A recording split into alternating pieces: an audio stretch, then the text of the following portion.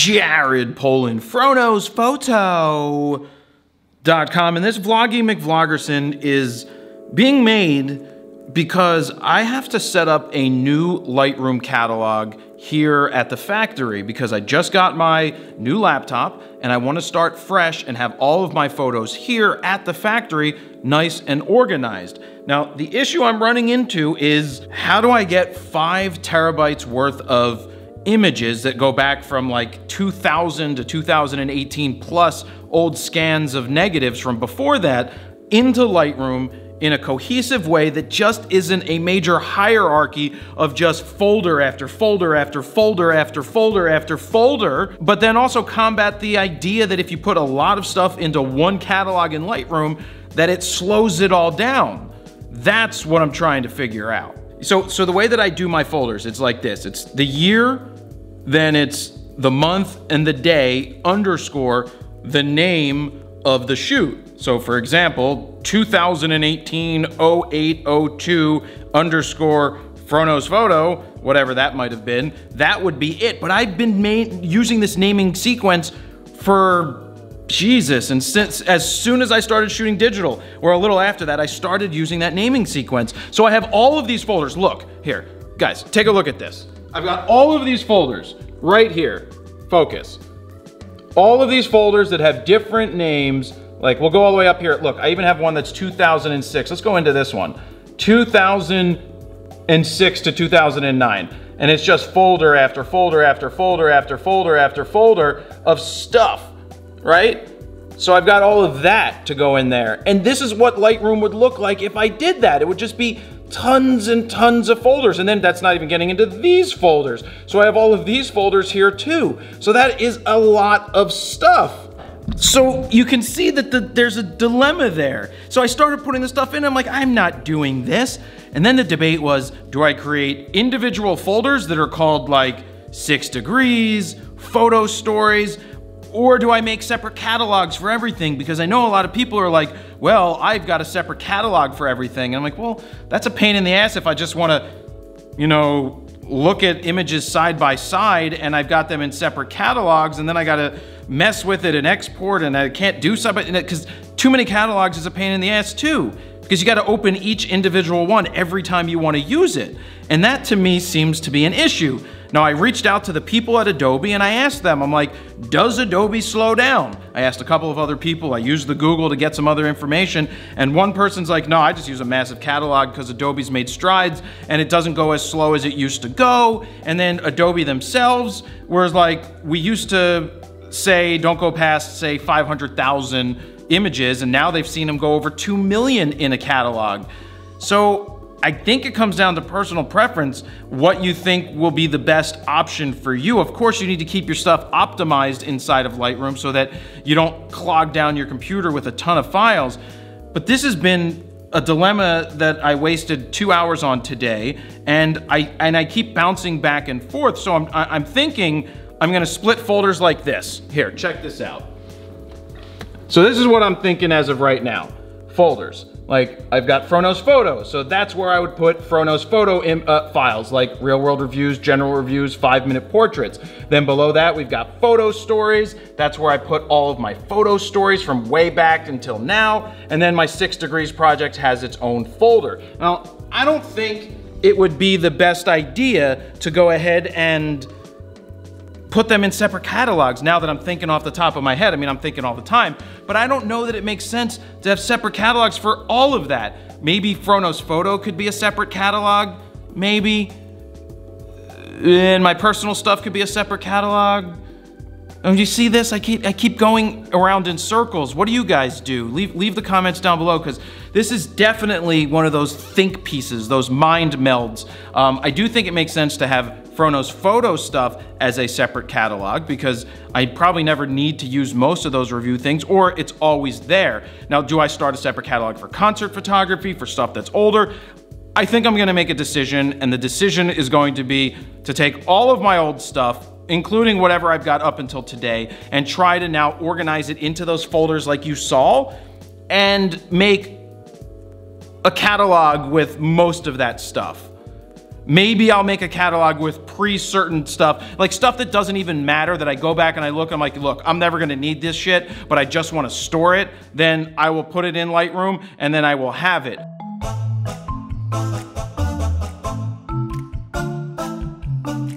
Okay, so so far organization is starting to move along, dropping stuff in folders where I think they should go, trying to figure out what makes the most sense for each image folder that I come up with, and I think we've got something good. But you guys were asking me questions, and by you guys, I mean some people on Instagram, by the way, Jared Polin on Instagram is my Instagram, were asking me, do I store everything on an external drive? And then how do I back it up? So let me walk around the factory and just quickly show you that. So I'm gonna try to stick with the front of the microphone here so you can hear it. So right over here, we've got my iMac. No, this is not an iMac, Jared. This is a MacBook Pro i9. So all of you people that wanna hate on it, go hate on it. It's what I'm using, it's what I'm keeping. So right on here on the computer, I'm just storing the Lightroom catalog so that it works fast off the internal one terabyte storage. But this is a LaCie 6 big right here. This has six drives, and I believe that these are the eight terabyte drives in there. So eight times six, that's 48, right? I think, I think that's 48. So I've got up to 48 terabytes, but it's running in RAID, so I don't exactly get 48 total terabytes, but that's okay. If something crashes, you can replace a hard drive, put another one in. So this is a Thunderbolt 3 going into the, the dock right here and right there. So yeah, external right here. But actually, let me show you because when I travel, I also have, let me get into my bag here, hold on. I have, that's not it. Hold it, hold it, hold it. This. This is a LaCie, um, what is this one? This is a five terabyte LaCie Thunderbolt USB-C hard drive portable. So being that I have five terabytes of data, and I and that's all of my photos, by the way, because uh, I have five terabytes, I don't need all of that stuff. I could you know, take just the most important files and have them with me at all times if I want. So like if I want to edit at home, I could go ahead and do it on that, but then it wouldn't sync up. That's a totally different story. But let me show you how we store everything and then get it backed up into the cloud. So I'm walking into this room and then underneath IT specialists are gonna yell at us because this is how we actually have our server. So down here, this is a Synology box, a Synology box. This is our server. So this is connected to our network. We've got a high-speed network going through the factory. We get one gigabit down, by the way, wireless or plugged in. That's our internet service. Um, this device, this Synology, has 12 bays. And we've got 12 10 terabyte Seagate, whatever the drives, the, the IronWolf drives in there. So that's our server. So Dan can access it, Steven can access it, I can access it over at my desk. And then we came up with an awesome solution for storing all of our files up in the cloud, Dropbox Business. So if you have Dropbox Business and you have three, you have three business licenses. So it costs me 60 bucks a month because there's three of them. There's me, Dan, and Steven. And when you do that, Dropbox says you can have as much storage as you need. It's not unlimited, it's as much storage, storage as you need. So we've requested a lot of storage from them, and we're over 50 terabytes of storage up in the cloud. Most of it, video. Uh, you know how many terabytes I have for my photos, but most of it is video. And so that's how we're doing our cloud storage solution. That's how we make sure that everything is backed up. So when we drop it onto the server, it goes ahead and it uploads that on in, up into the cloud. And then if we make a change, it re-uploads it so that we have, if we screw something up, we can go back and find the older version because the versioning is set so that we don't accidentally lose something. So we do have a lot of stuff stored up there, but I can also access that from anywhere in the world, my Dropbox, and pull down a file if I ever needed to say find, if I'd have to find it first. But once I found it, I could download it as long as I have a fast connection. So I'm gonna continue on here organizing these folders. Look, this is like close to 20 years worth of... Okay guys, so I pretty much figured it out. I came back late last night to move folders into other folders to get a different organization down. I just got on a roll. Well, now it's the next day and I wanna show you the computer to, to show you what I did. So over here, you can see that in the photo archive, I only have one thing left. I just have left the 2006 to 2009, which is all of these folders, which I need to drop where they belong. But check this out over here on the left. I've got something up here called Fro Knows Photo.